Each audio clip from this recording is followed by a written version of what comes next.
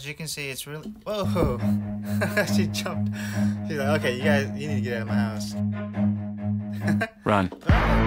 Hey, what's going on, everybody? Oh man, I got a bad hair day today. Anyway, I just woke up and uh, I wanted to feed my tarantulas, but I saw this and I was like, okay, this is not good. I don't like this is just disgusting. So I wanted to uh, make a quick video on how to clean your enclosures, uh, particularly particular particularly whatever. Uh, an arboreal enclosure because these guys, you know, like this Poecilotheria metallica over here, and uh, the pink toes, and you know, th- those guys are pretty infamous on pooping on the window.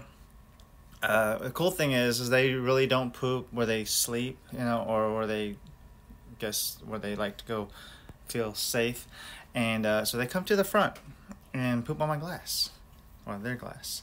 So I'm gonna show you how easy it is to clean these and um, you really don't need much. You can probably just use a wet paper towel. Uh, what I'm gonna use, so I don't have to get my fingers all super dirty, is gonna get, I got this brush from like the dollar store, and then just a bucket. You don't even need a bucket. Just get this thing wet. That's all you need. I got a bucket, a little bit of water. Just I don't even use any soap. The poop in here, it's not really harmful at all. You can literally like touch it and and, uh, let me bring it down so I can actually Oh god. So I can actually get to work. But yeah, so you should always have a catch cup in hand. Uh, let me see here. I should probably get one. So I got my catch cup.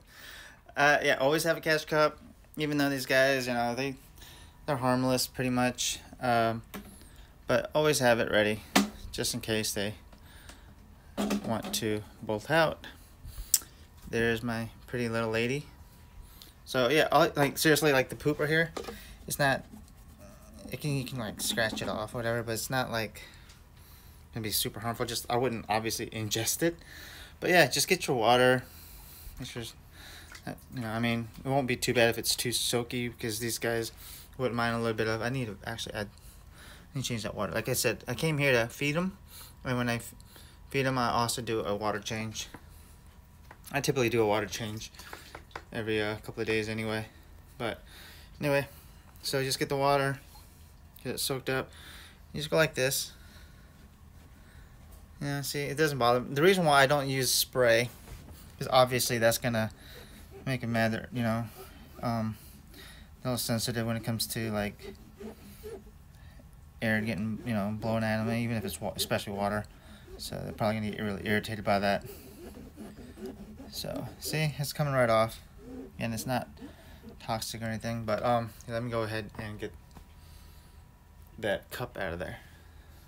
I just grab it. That right there. Alright, let's go ahead and continue our business. Again, if you want to rinse it off, that's fine. Like I said, it's super easy to do, guys. Doesn't take that long. Uh, I don't. I would definitely not use any chemicals, especially for something like this. You know, just rub. Oh, I think I touched him. Touched her a little bit.